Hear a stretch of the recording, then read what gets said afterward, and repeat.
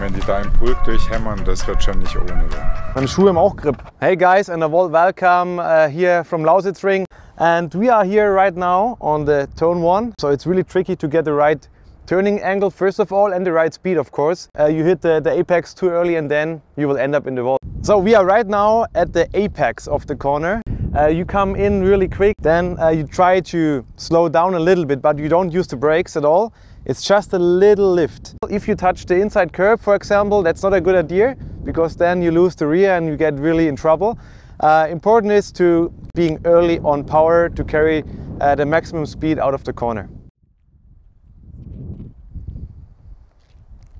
Okay guys, so we are here uh, in the last part of the corner and here is exactly the point where you should be back on, on power and then you try from here on as well to open the steering wheel and uh, come close to the wall on the exit. So if you kiss the wall a little bit on the exit then it's fine.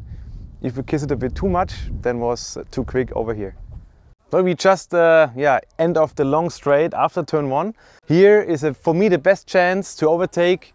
Uh, it's a second year corner which uh, it's really hard braking zone after the maximum top speed we get uh, on this track. It's about uh, between 265 and 270, so it's quite fast. And on the start, you will see also uh, big trouble going on here uh, because everybody wants to, to be late on braking and to overtake uh, another car. So here you will see a lot of action.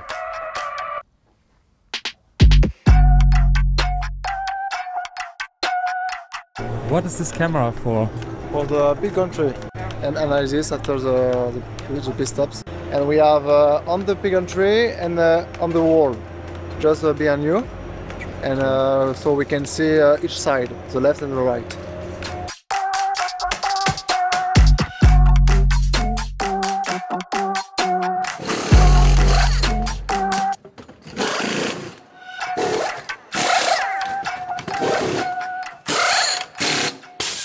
First day of uh, DTM Lausitzring uh, is almost done. Today we set up the whole box, uh, which looks pretty awesome and uh, had some discussions about uh, BOP for Lausitzring. Um, but uh, at the end of the day we managed it and we are quite happy with the result and yeah, the rest we will see from tomorrow onwards.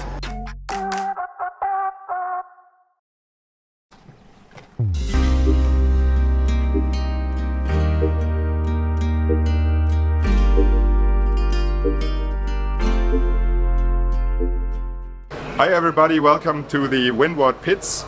Today we would like to talk about uh, the balance of performance, BOP. It is done to make sure that all competitors are competitive in the grid.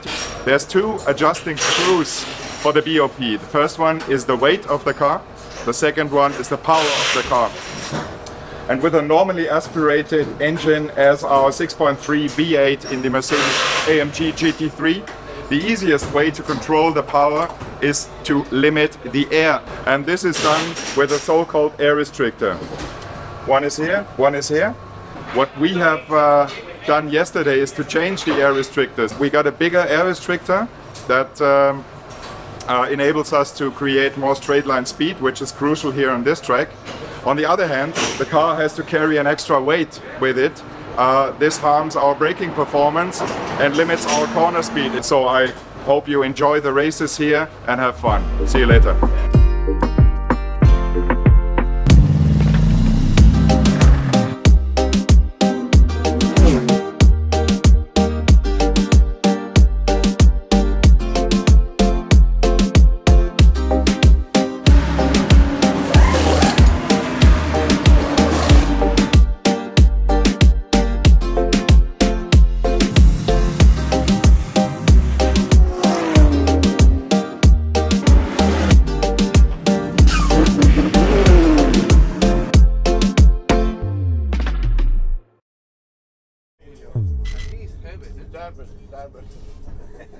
There is some shit in the traffic, the first guy you hear is the Italian one.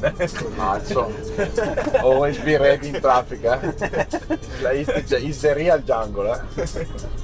have to survive in some way.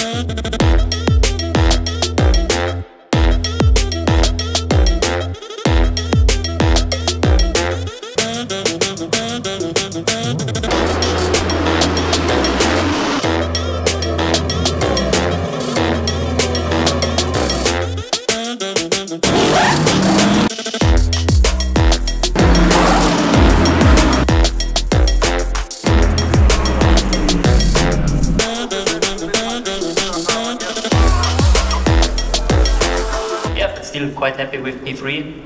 Uh, I think P2 would have been possible. Sheldon just did a mega job today. Was was just on a league on, on his own. And congrats to him and to his team.